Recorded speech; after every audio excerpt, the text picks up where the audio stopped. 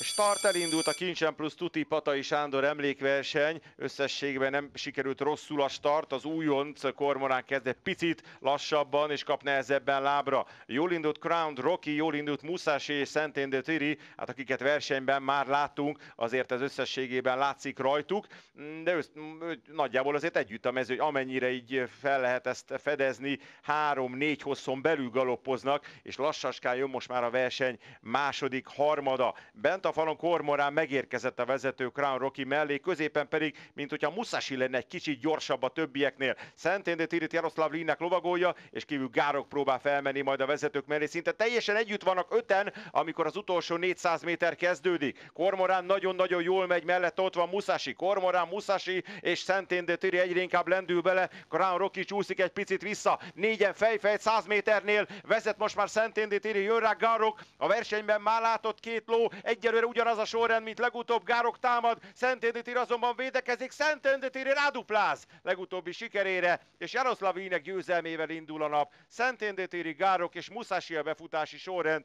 ugyanaz, mint június közepén, negyedik lesz Kormorán, ötödik pedig Crown Rocky.